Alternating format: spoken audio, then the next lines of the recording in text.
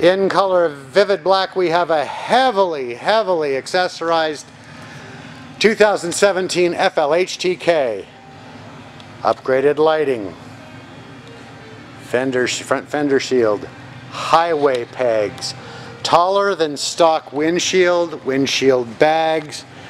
Pause here for a moment to take a look at the odometer. 12,079 miles as of this moment. Willie G clutch cover, horn cover, bottom portion the passenger floorboards. Antenna relocation kit, why? Because there's docking hardware, the light's better on the other side. There's docking hardware, so if you choose to, you can remove the tour pack very easily. Antennas out of the way. Screaming Eagle pipes. Extra lighting on the saddlebags. Air cleaner cover.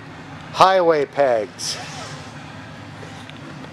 All the accessories that were added are fairly mellow and extremely tastefully done.